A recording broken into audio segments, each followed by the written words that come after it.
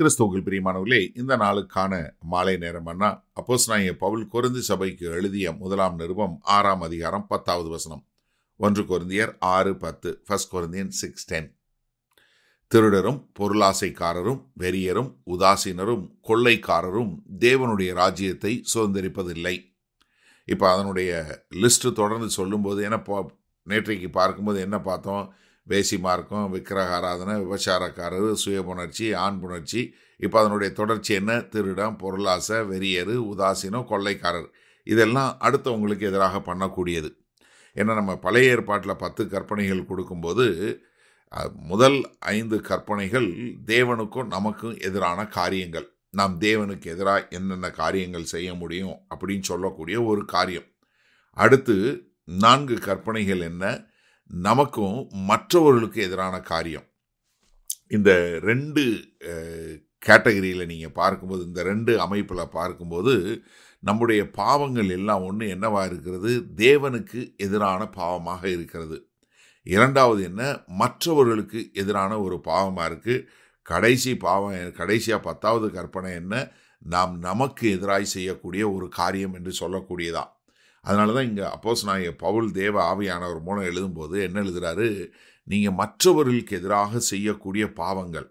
ஏன்னா இது நீங்கள் வந்து இதில் சொல்லப்பட்ட திருட திருடுறது பொருளாசை வெறி உதாசீனம் கொள்ளை இது எல்லாமே என்ன?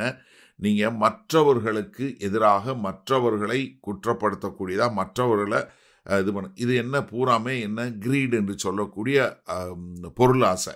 அப்போ இந்த தேவனுடைய ராஜ்யத்தை சுதந்திரிப்பதில்லை அப்படின்னு சொல்லும்போது தேவன் நியமனம் பண்ணின தன்னுடைய கற்பனைகளுக்கு எதிராக செய்யக்கூடிய எந்த ஒரு பாவமாக இருந்தாலும்.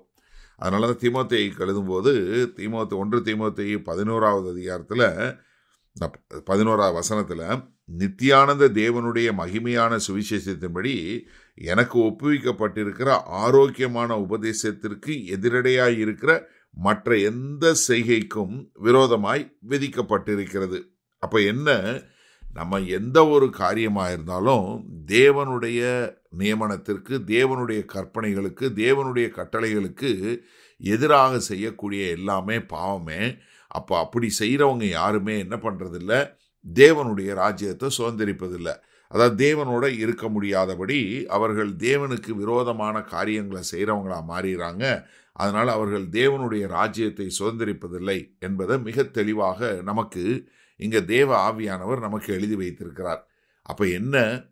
நாம் தேவனுக்கு எதிராக செய்கிற தேவனுடைய வார்த்தைக்கும் தேவனுக்கு எதிராக செய்கிற எந்த எந்த காரியமாக இருந்தாலும் ஒன்று தேவனுக்கு எதிரானது மற்றது மற்றவர்களுக்கு எதிரானது என்பதை நாம் புரிந்து கொண்டு நம் தேவ கிருபையை நாடி தேவனோடு தேவ தயவில் வாழ கற்றுக்கொள்வோம். சரி இந்த நாளில் இந்த வசனத்தை நம்ம எப்படி எடுத்துக்கொள்வது? நான் இன்றைக்கு சொன்னது போல் நம்ம செய்யக்கூடிய எல்லா பாவமும் ஒன்று தேவனுக்கு எதிரான இல்லை மற்றவர்களுக்கு எதிரான இல்லை உங்களுக்கு எதிரானது. இதற்கு எல்லாத்துக்குமே ஒரே மருந்து என்னென்னா கர்த்தராகி இயேசு கிறிஸ்து தான் இப்போ நீங்கள் ரட்சிக்கப்பட்டதற்கும் ரட்சிக்கப்படுவதற்கு முன்பும் ரட்சிக்கப்பட்டதற்கு பின்பும் உள்ள வாழ்க்கையில் ஒரு வித்தியாசம் காட்டக்கூடியதாக. அது எதன் மூலமாய் நடைபெறும் அப்படின்னு சொல்லி பார்த்தீங்கன்னா நம்ம வேத வசனத்தை ஒவ்வொரு நாளும் எடுத்துக்கொள்ளும் போது தான் இப்போ உதாரணத்துக்கு ஒரு காரியம் சொல்கிறேன் ஒரு சிலருக்கு சில காரியங்களை உடனே விட்டுற முடியும். இப்போ சிகரெட் பிடிக்கிறதுன்னு எடுங்க. சிகரெட் பிடிக்கிறவங்க முதல்ல வந்து ஒரு சிலர் என்ன இன்றையோடு நான் சிகரெட் பிடிக்கிறது இல்லை அப்படின்னு சொல்லி நான் ஏசு கிறிஸ்துவை ஏற்றுக்கொண்டேன். இனி நான் பிடிக்க மாட்டேன் அப்படின்னு முடிவு எடுத்து விட்டுறாங்க. அதுக்கப்புறம் அவங்க வந்து என்ன பண்ணுறதில்ல சிகரெட் பிடிக்கிறதே கிடையாது. ஆனால் ஒரு சிலர் என்ன இப்படி சொன்னாலும் அவர்களுக்கு கொஞ்ச காலம் இது நடந்துபட்டு கொண்டே இருக்கும். ஒரு சிலர் ஒரு வருஷம் சும்மா இருப்பாங்க. பார்த்தா திடீர்னு மறுபடியும் யாரோ ஒருத்தவங்க கொடுத்தாங்கன்னு அவங்க குடிச்சிருவாங்க. அதுக்கப்புறம் அது மறுபடியும் கொஞ்சம் காலம் தொடரும். அதுக்கப்புறம் அவங்க ஐயோ ச்சே நான் இது பாவம் நான் விட்டுட்டேன். நான் மறுபடியும் இது பண்ணிட்டேன். அப்புறம் மறுபடியும் விடுவாங்க. இப்போ என்னென்னா ஒரு சில பாவங்கள்லேருந்து உடனடியாக விடுதலை வந்துடும் ஆனால் ஒரு சில பாவங்களில் ஒரு சிலருக்கு கொஞ்சம் காலம் ஏற்படும். இப்போ உதாரணத்துக்கு பொய் சொல்கிறது ஒரு சிலர் என்ன ஒரு இனிமேல் நான் என்ன வந்தாலும் சரி என்ன கோ- சோதனை வந்தாலும் நான் பொய் சொல்ல மாட்டேன் அப்படின்னு கர்த்தருக்கு ஒப்பு கொடுத்து காரியங்களை செய்வாங்க. ஆனால் சில நேரங்களில் தவறிடுவாங்க ஆனால் என்னென்னா இங்கே சொல்லுகிறது என்ன அவர் யார்? இவர்கள் ரட்சிக்கப்படாமல் இவர்கள் முழு நேரமாக அதை தெரிஞ்சு செய்யக்கூடிய மக்களை பற்றி தான் சொல்கிறாரு அப்போ இந்த ரெண்டுக்குள்ள வித்தியாசம் என்ன? ஒரு பரிசுத்த பாதையில் போகிறவன் என்ன தன்னை குறித்து தேவனுடைய வார்த்தைக்கு ஒப்பு கொடுத்து வாழ வேண்டும் என்கிற ஒரு மனம் திரும்புகிற வாழ்க்கை. அப்போ என்ன? தேவனுடைய வார்த்தையினால் நம்ம புதுப்பித்து கொண்டே வர வர வர நாம் கர்த்தரை போல மாறி அவருடைய ராஜ்யத்தில் பங்கு பெறுவோம். மகா கிருபையும் இறக்கம் நிறைந்த எங்கள் அன்பின் தாப்பனே இந்த அருமையான நல்ல நாளுக்காய் நன்றி. இது அந்த நாளிலும் நாங்கள் ஒவ்வொரு நாளும் உடைய வார்த்தையினாலே எங்களை புதுப்பித்து நாங்கள் ஒவ்வொரு நாளும் அந்த பரிசுத்த பாதையில் கிறிஸ்துவை போல மாற எங்களுக்கு கிருபை பாராட்ட வேண்டுமாய்.